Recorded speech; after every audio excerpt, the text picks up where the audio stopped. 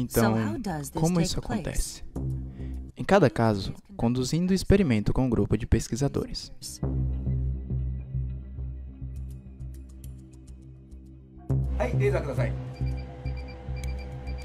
Utilizando raios lasers e câmeras de alta sensibilidade, a equipe pode observar pequenas partículas no ar. Esta tecnologia nos permite observar partículas menores que 0,1 micrômetros de diâmetro. O experimento se inicia. Primeiro, espirros.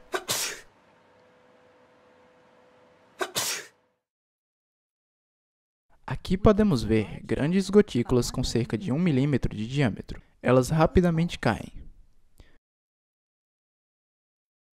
Mas vamos observar pela câmera de alta sensibilidade.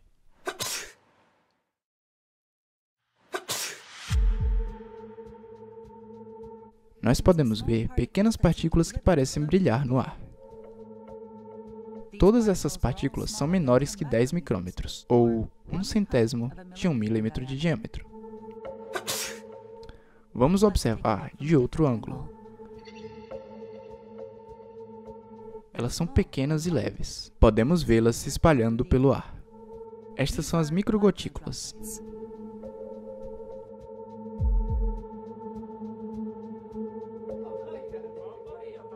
Descobrimos que espirros não são as únicas fontes destas microgotículas.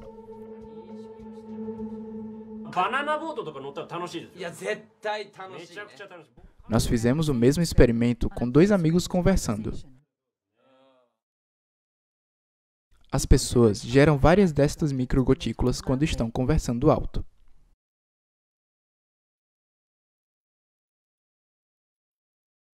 Estas gotículas entre eles permanecem no ar. Elas não vão embora.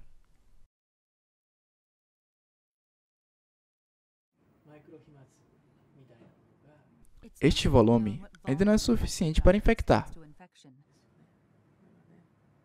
Mas a teda diz que não podemos ignorar a possibilidade de que as microgotículas espalhem o vírus até certo ponto. Microgotículas carregam alguns vírus. Nós produzimos elas quando conversamos alto ou respiramos fundo. As pessoas à nossa volta inalam elas e é assim que o vírus se espalha. Nós estamos começando a enxergar os riscos agora. Os riscos de infecção por microgotículas se tornam maiores em locais fechados com ventilação ruim.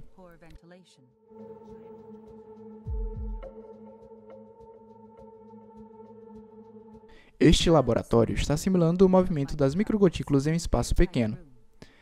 Cerca de 10 cerca de 10 pessoas em um local fechado, com o tamanho de uma sala de aula. Alguém tosse uma vez.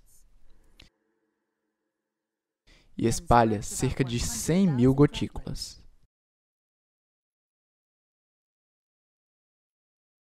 As maiores gotículas são representadas em azul e verde. A maioria delas cai no chão em menos de um minuto. Mas as microgotículas, representadas em vermelho, continuam se espalhando.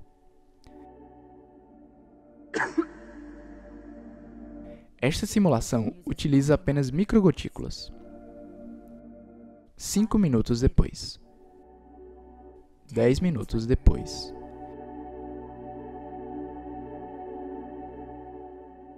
Vinte minutos depois, as microgotículas permanecem suspensas no ar. Se o ar não estiver fluindo, as microgotículas não se movem, e já que elas não se movem sozinhas, elas permanecem paradas por um tempo.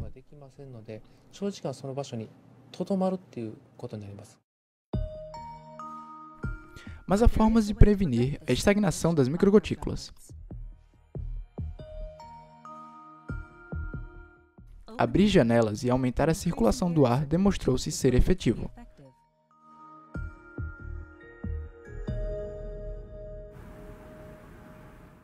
Quando você abre uma janela,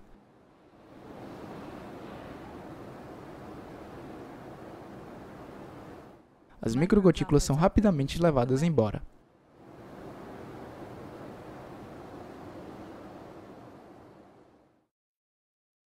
Elas são muito pequenas e leves, então qualquer fluxo de ar consegue levá-las embora. É importante criar duas aberturas.